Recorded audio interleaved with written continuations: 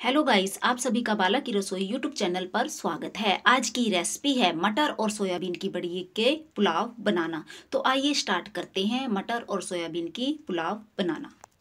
मटर और सोयाबीन की पुलाव बनाने के लिए ये हमने मटर लिए हैं। ये हमने एक बड़ी कटोरी मटर लिए हैं। सोयाबीन ली है। इसको हमने गर्म पानी में भिगो लिया था और अच्छे से पानी को निचोड़ दिया है।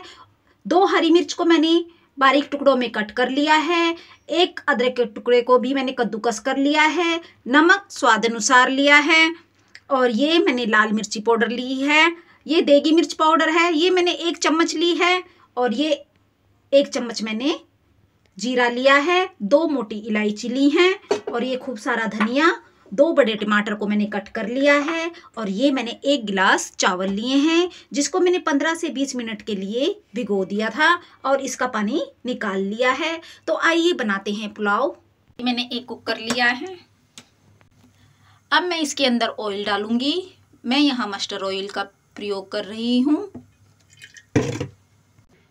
ऑयल हमारा गर्म हो चुका है। अब मैं इसमें दो मोटी इलायची और ये जीरा डाल दूँगी।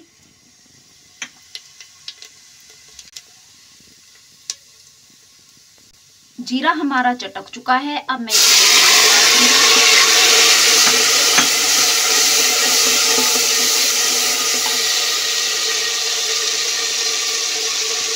साथ ही ये मैं अदरक भी डाल देती हूँ इसमें। और ये हरी मिर्च भी डाल दूँगी।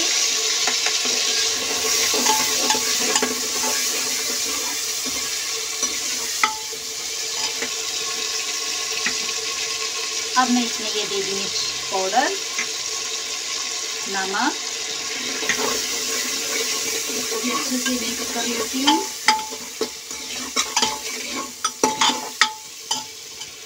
और अब मैं इसके अंदर ये मटर के दाने डाल दूँगी।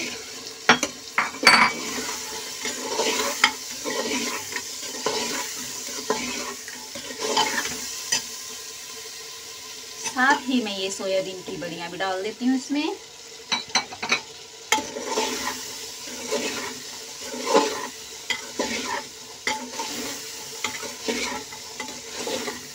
इन्हें मैं थोड़ा सा भूनने दूँगी। और अब मैं इसके अंदर हरा धनिया डाल दूँगी। मैंने ये खूब सारा धनिया ले लिया है।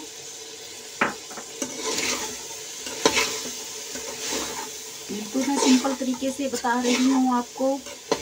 मटर और सोयाबीन की बड़ियों के पुलाव। अब मैं इसके अंदर राइस डाल दूँगी ये।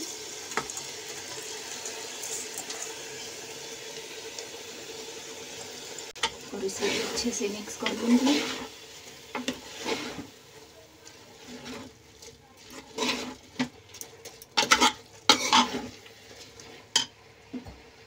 अब मैं इसके अंदर पानी डालूँगी। ये मैंने एक गिलास पानी ले लिया है।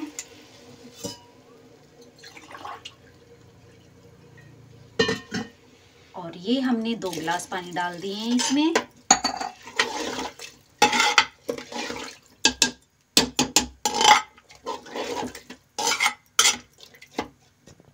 और अब मैं इस कुकर को बंद कर दूँगी।